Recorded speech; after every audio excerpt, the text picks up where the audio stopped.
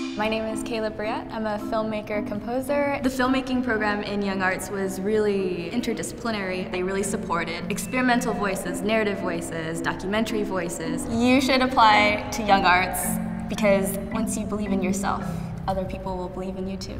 So Young Arts kind of inspired me to, to reach out and open up more because a lot of my art and upbringing was so introverted and closed in and, and I think that Young Arts is the place to inspire and be inspired.